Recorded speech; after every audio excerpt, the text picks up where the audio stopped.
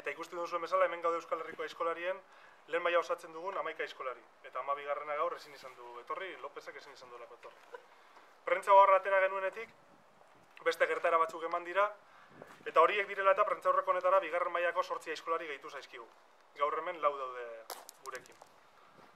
Lehen da bizi lehen mailakon sentipenak azalduko ditugu. Eta ondoren bigarren mailakoei dagozkionak. Azkenik ateratako ondorioak eta elkarrekin hartutako erabakien berri emango zaizue.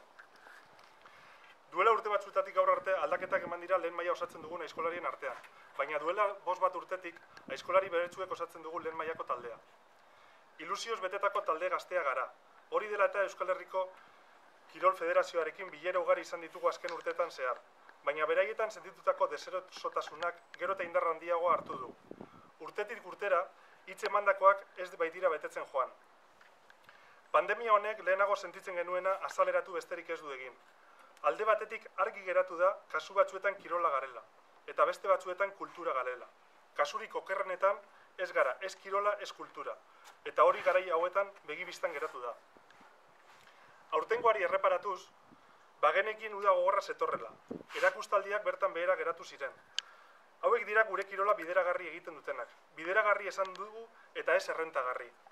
Gure kirola emozionalki bakarrik da errentagarria guretzat, eta emozio eta amets guztien gailurrean kokatzen da Euskal Herriko txapelketa. Jakinaren gainean zaudete ordea, Euskal Herriko Kirol Federakundeak ekainaren hogeita bederatzean jakinarazi zuela aurten ez zituela Euskal Herriko txapelketa, aizkolari txapelketa kantolatuko. Gutariko askok prentzatik izan genuen erabaki horren berri. Pandemiatik atera berri geuden, baina urte erdi geratzen zen aurretik.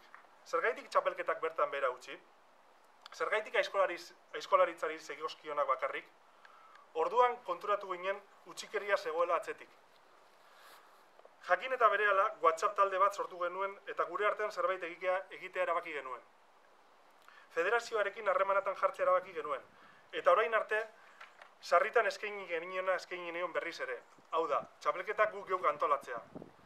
Ez ezke boreboia jaso genuen. Horren aurrean txapelketa berri bat antolatzea pentsatu genuen. Eta Euskal Herriko txapelketaren lan berdinarekin bere baki, baliokidea izan zedin.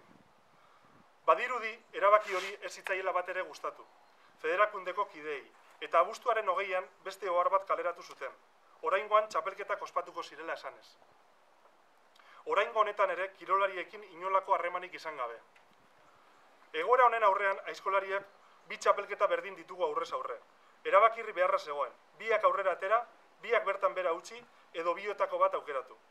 Aukeratu beharra zegoen, Bide bat badakigun ora zioan. Hogeita urteko esperientzia daukagu atzera begiratu izateko. Eta garbi eta garbi okerrera besterik ez dugu egin bide horrek. Guk urte hauetan eskatutakoak ez baitira betetzen joan. Federakundaren web horrialdeak daramatza, urteak daramatza berri bat bera ere jarri gabe. 2008 garren urtean gaude, eta sare sozialak ere ez dituzte ikusi ere egin nahi. Sarritan galdetu diguzue kasetariok, ea noiz diren txapelketak, ea non lortu daitezkeen denborak. Argi dago egiten den zabalkundea oso antzua dela.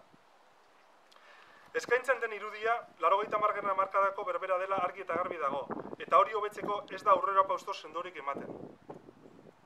Urte kaskarrak ere bizi izan ditu aizkolari, aizkolari nagusien txapelketak. Eta federazioak txapelketa nagusia gastu entruke ematen zion edozein herri edo antolatzaile talderi. Urte horietan Euskal Herriko txapeldunak irumila euro jasotzen zituen sari gisa. Ba, baina 2000 eta mairuan sari hori mila eta sortzireun eurotara jaitzi zuten. Urte horietatik aurrera jendetza hurbiltzen hasi ziren aizkolari txapelketak ikustera. Eta hori egin handi batean uste dugu gaur hemen gauden kilolari esker izan dela.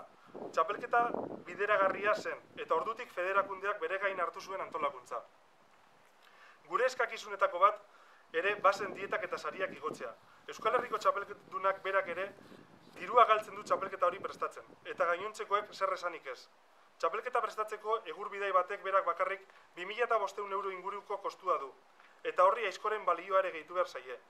Guzti hori oraindik prestakuntzak sartu gabe, fisioterapia zaioak, nutrizioa edo egin beharreko kilometroak.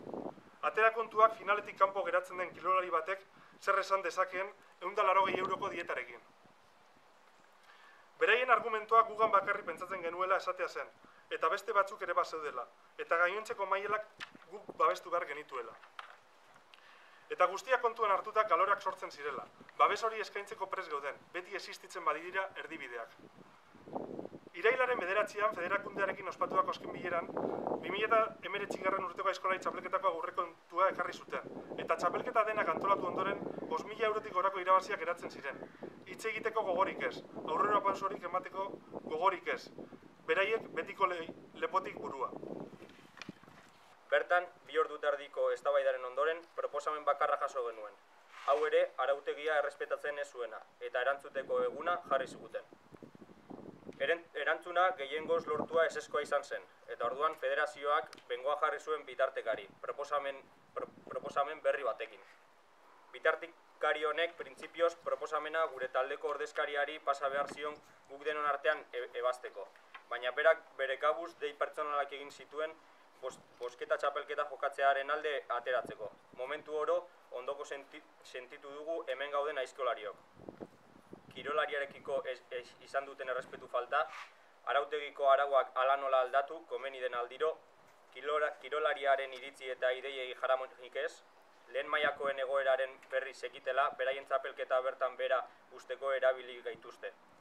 Beraiek proposaturikoa onartzeko dei pertsonalak egin dituzte aizkolariei. Batzuetan hauek mehatzatuz txapelketan parte hartu esaten.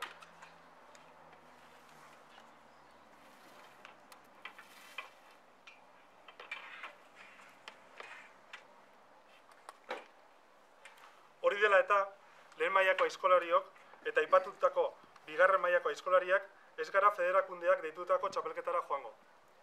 Itxura emanda genukan txampalketa antolatzea da geratzen zaigun etorkizuneko bide bakarra. Eta azken aukera honekin aurrera jarraitzea erabaki dugu. Gure txapelketa antolatuko dugu, eta txapelketa honek orain arte Euskal Herriko txapelketak izan duen jarraibide berdinak izango ditu. Lehenengo amabi aizkolario jokatuko dugu kanporaketa bat, eta ondoren sei honenek osatuko dute finala. Egin beharreko lanak ere orain arte izandako berberak izango dira. Osasuna goerak baimentzen badu, kanporak eta zesteoan jokatuko da urriaren hogeita bostean, arratzaldez. Eta finala iruñean izango da, azaroaren azken asteburuan.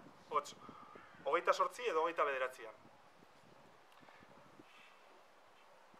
Bigarren mailako txapelketari dago gionez, taldea osatzen duten sortzi aizkolariek, zuzenean bigarren mailako txapelketako finala jokatzea erabaki dute. Orain arte finalean izandako lan berdinarekin. Orain tok, oraindik tokia eta data zehazteko daude, baina alik eta azkarren jakinarak ziko zaizkizue. Gure artean lehiakide gara, guztiok ditugu aman komuniko helburuak. Dugun lotura bakarra ordea kirol berdina maite dugula besterik ez da. Sakabanatutako kolektibo bat osatzen dugula ohartu gara. Guztiok babesa ematen digun aterkirik gabekoa. Honi erreparatuz, elkarte bat sortzeko beharra atzeman dugu. Guztion arteko lotura izango dena. Guztion interesak defendatuko dituena eta etorkizunean txapelketak antolatzeko ekimena izango duena. Kirolari amaterrak gara, baina esfortzu profesionala egiten dugu. Ondorioz, maiz ez dakigu egiten duguna afizio edo ofizio den. Baina amez batek bidean elkartu gaitu, eta bide lagun egiten gaitu guztiok. Jakin badakigu bide berri honek arrisku handia duela. Baina on, ondo dakigu guk arriskatzen ez duenak ez duela sekula irabazten. Garai hauek zer pentsatu ematen digute, eta orain arte eman ez ditugun pausuak aurrera ematera usartu gare. Etorkizuna izango da pausu egokia edo ez ematen ari garen testigu. Kanpo laguntza behar beharrezkoa izango dugu, eta herrikirola eta eskolaritzaren etorkizuna bermatzeko prest dagoen edonoren laguntza eskatzen dugu, erakunde publiko, pribatu, naiz pertsona fiziko izan.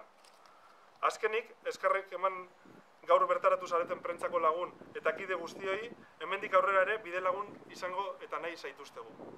Eskarrik guztioi eta laizter arte.